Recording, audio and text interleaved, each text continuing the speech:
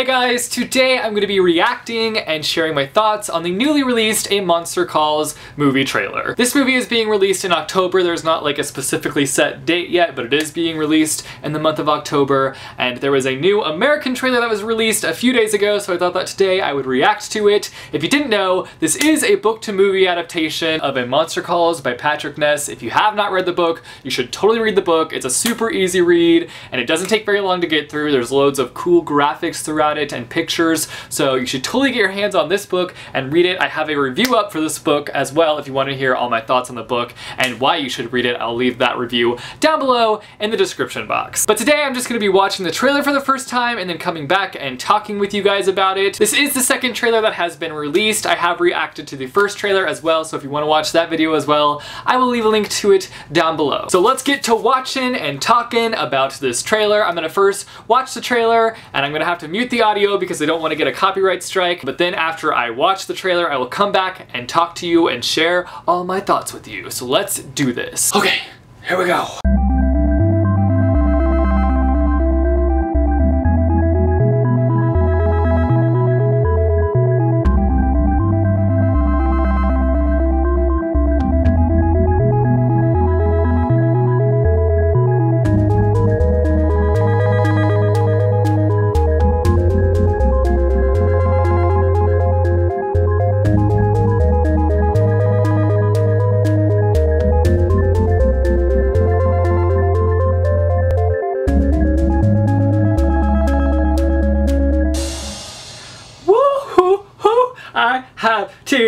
My I'm gonna go take care of that right now. Hot dang! That made me it's literally emotional. I was brought to tears. I wasn't like bawling my eyes out, but I was teary-eyed, y'all. I knew it was gonna be an emotional one. The last trailer didn't move me as much as this one did. I think this one, there was like so many different things going to it that made it just so much more emotional. It had the music. We had a lot more of the relationship between the mother and the son, which is a big part of the story itself. And there were just so many elements within this trailer that just made it so much more emotional. We open with the scene of the boy watching his mother watch an old home video, and it instantly got me so emotional because of everything that the mom is going through and the journey that she's on throughout this story. It's like she's looking back on her life when she was happy and healthy. And my heart just broke into a million pieces at that simple first opening scene. Now Felicity Jones is playing the mom, and I think that that is just such a perfect fit. She is an amazing actress, and I can't wait to see what she does with this character. And I know that she'll do a great job of showcasing the emotional journey that this mom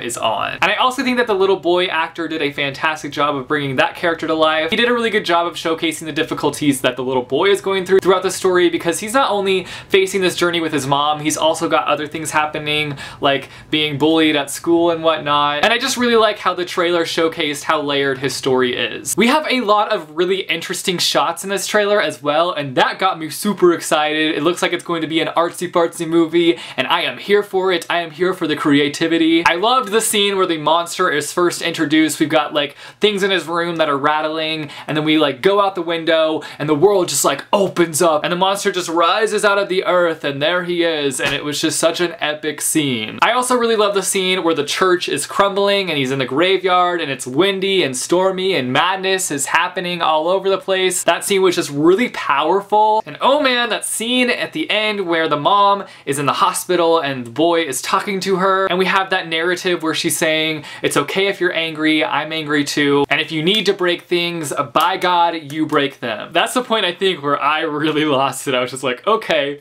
this is happening, I'm getting sad, I'm, I'm starting to get teary-eyed. And this song they used in this trailer was so fitting. It fits the story so well. The song they used is apparently Lower Your Eyelids to Die with the Sun by M83, and it is perfect! It's perfect. The title is fitting to the story. The song itself is fitting to the story. So overall, I am looking forward to this film. I know it's gonna just completely destroy me, but I'm really looking forward to seeing this adaptation. It looks like it's gonna be a near perfect adaptation, and I am so happy about that. It looks like it's getting the adaptation that it deserves. So those are all my thoughts on the A Monster Calls trailer. I'll leave a link down below to the trailer so you can tell me all your thoughts down below in the comments. Also let me know down below if you have or if you haven't read A Monster Calls. If you haven't, you should totally read it. And let me know if you're gonna read it before the movie because I highly recommend going and getting the book and reading it before the movie. If you like this video, be sure to give it a big thumbs up. I post videos every Monday, Wednesday, and Friday, so click subscribe if you want to be notified for when I post new videos. Thanks Thanks for watching, guys, and I will see you soon with a new video. Bye, chew.